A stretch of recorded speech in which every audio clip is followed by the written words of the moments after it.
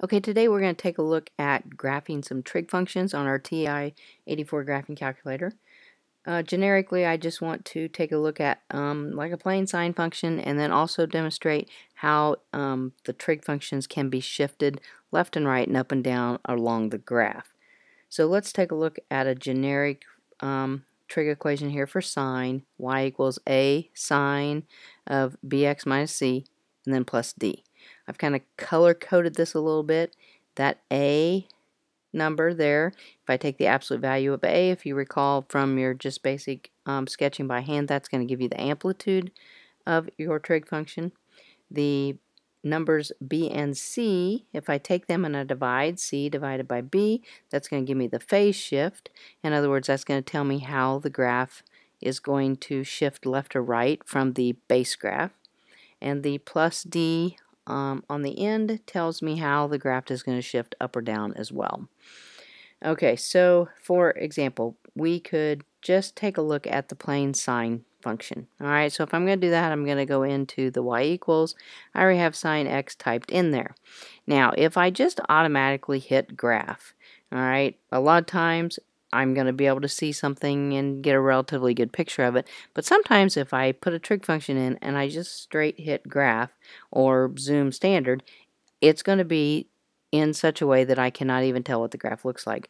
So my suggestion is when you are in that y equals area and you have typed your trig function in, you should do zoom and then from this menu you should pick um, trig. So number 7, you should zoom trig all right, and you can see how now this makes this look more like a trig function that it should without any distortion whatsoever.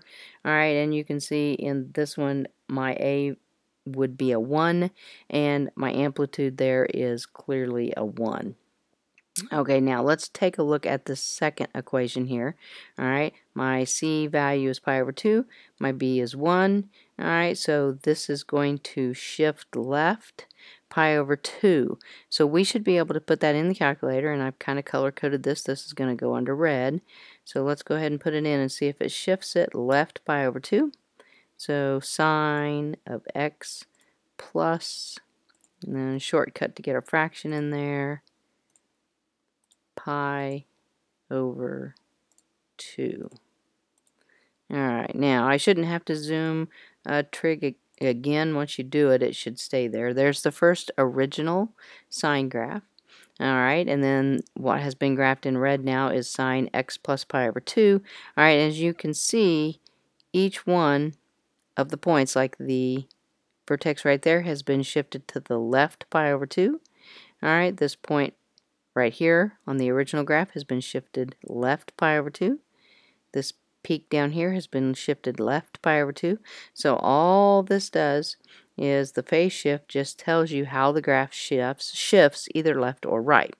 Okay, now let's go ahead and leave those two in there, and then let's go ahead and put a third one in there. And I've color-coded this again in green, and I've added the little plus 3. So let's go back into our y equals.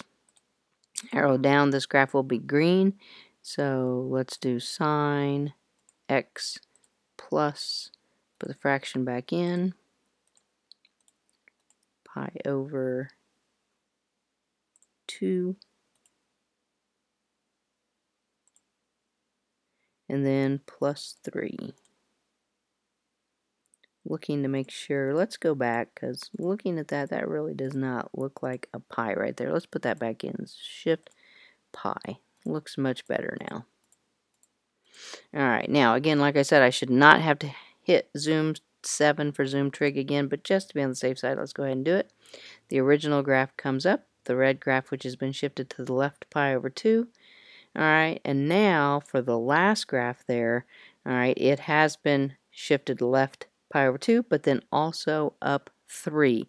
So right above that red graph, this peak has went up 3. So if the peak was at 1, so then one, two, three, it'll be at four right there. So some just some um, nice little demonstrations there on the trig functions, being sure to use zoom 7 for the trig, and then showing how the various graphs shift around the coordinate plane. Uh, definitely thanks for watching. Be sure and give me a thumbs up and share with your friends. Thanks.